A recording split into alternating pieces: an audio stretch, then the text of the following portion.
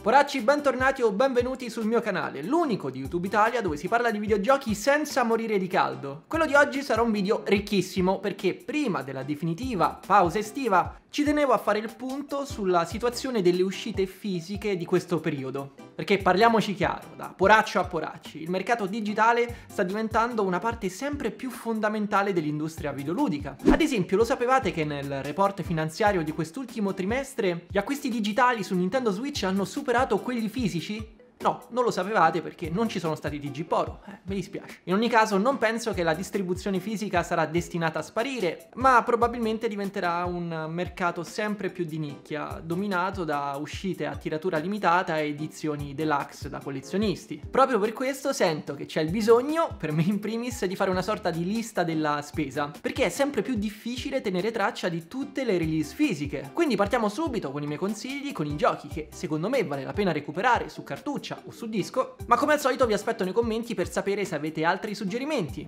su titoli da tenere d'occhio, da mettere subito in collezione prima che sia troppo tardi. Quindi smettetela di fare i poracci sull'eShop e mettetevi in marcia verso la conquista non violenta di internet.com e la fondazione del Poroverso. Lasciate like, iscrivetevi al canale attivando la campanella delle notifiche e seguitemi su tutti gli altri social. I link li trovate in descrizione. Bene, ho detto tutto, iniziamo!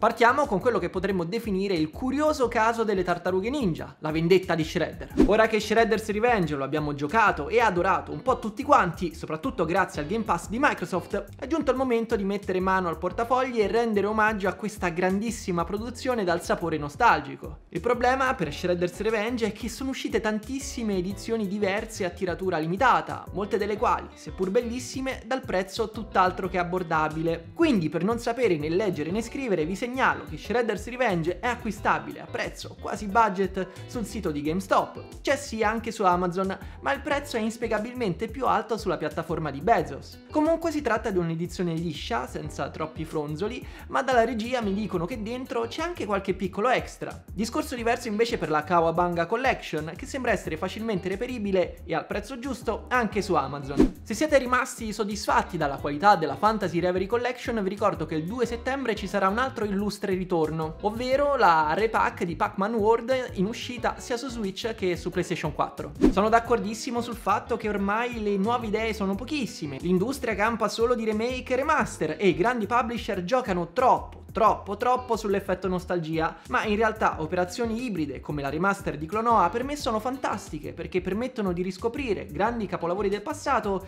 aggiornandone la forma ma evitando di stravolgerne il contenuto. E il repack di Pac-Man World sembra addirittura una remaster ancora più incisiva che apporterà numerose ottimizzazioni nel gameplay di questo curioso platform uscito su PS1 che va assolutamente comprato in edizione fisica. Da qualche giorno il gioco è prenotabile anche su Amazon oltre che su GameStop Shop e il prezzo è lo stesso di quello delle tartarughe ninja. Sospetto che però dentro non ci sia nulla oltre la cartuccia. Rimaniamo incollati a questa fascia di prezzo e continuiamo con le riedizioni, anche se con Nier Automata su Switch ci troviamo di fronte a un caso un po' particolare. Infatti il porting per console ibrida è a tutti gli effetti un'edizione unica, la End of the Yora Edition, che vuoi o non vuoi la differenzia da quelle uscite su console fissa.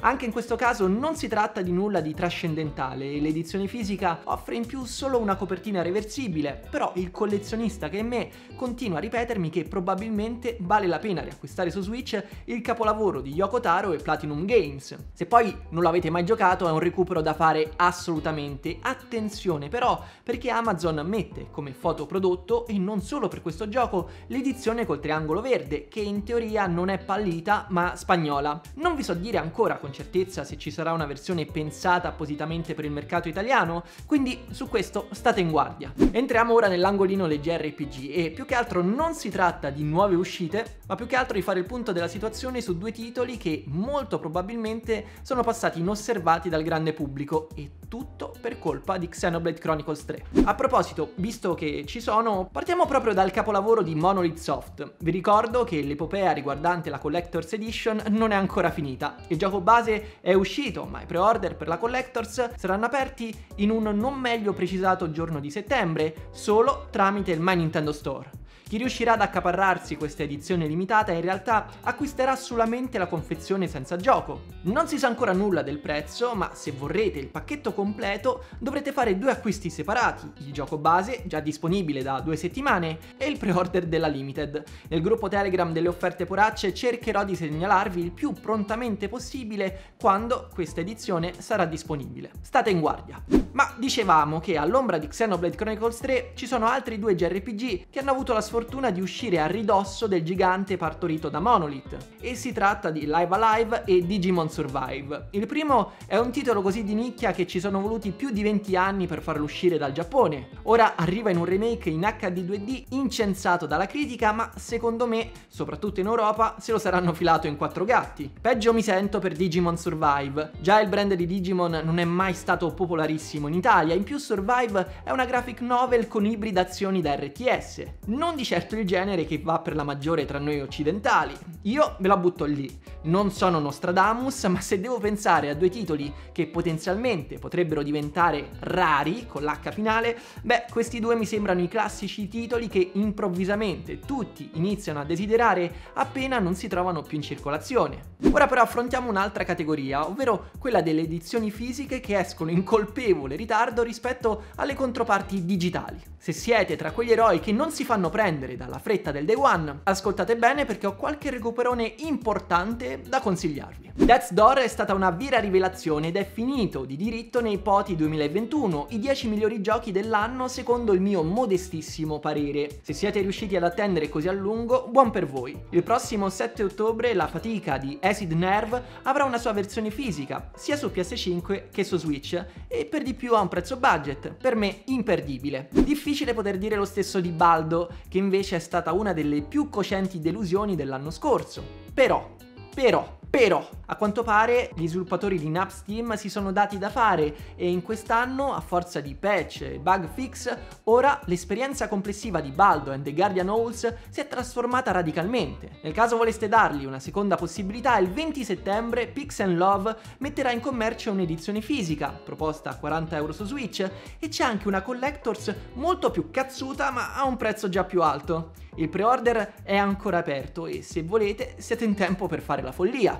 Io non mi assumo la responsabilità. Di Stray ne abbiamo parlato recentemente, a me è piaciuto tantissimo e fortunatamente l'ho giocato gratis, ovviamente tra molte virgolette, perché è incluso all'interno del PlayStation Plus di tier non poraccio. Quindi se la produzione di B12 vi ha stregatto, beh, supportate Annapurna e gli sviluppatori acquistando il 20 settembre l'edizione fisica di Stray, che includerà anche non 4, non 5, ma ben 6 art cards. E penso che queste facciano salire il prezzo di un euro. Maledizione. E a proposito di attese infinite, fermi tutti, non mi pare vero, ma esce anche Psychonauts 2 in versione fisica, altro capolavoro dell'anno scorso, spolpato per bene su Game Pass e porca miseria, questo va comprato per forza. Tra l'altro inizialmente c'era molta confusione se le due versioni, quella base e quella da collezione, sarebbero state acquistabili anche in Europa, ma ora per fortuna Amazon ha aperto i pre-order per la Modern Love Edition, che è un po' la versione standard, ma a un prezzo prezzo tutt'altro che budget.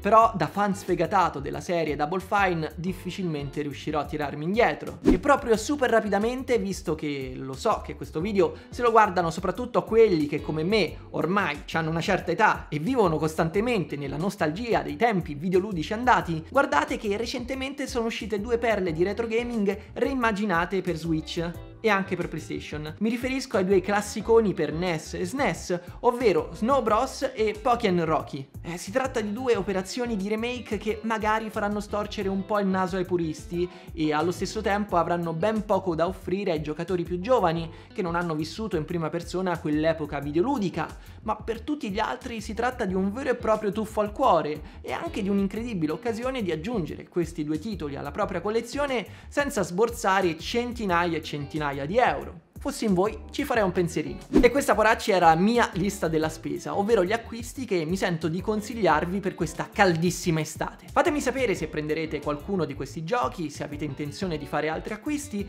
o se magari avete altre segnalazioni da inserire all'interno di questa lista. Come al solito vi aspetto nei commenti e mi raccomando, riposatevi. Ma intanto però nerdate duro, anche in vacanza. Io sono il Poro Fisico, Michele Digitale Ciao!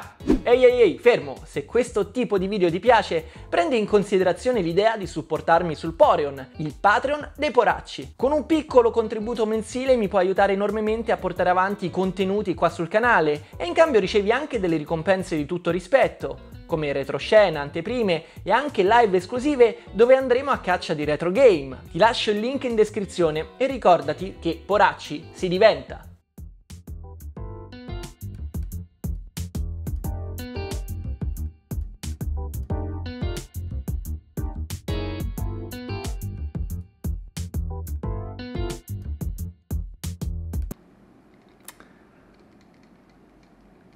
Carino, eh?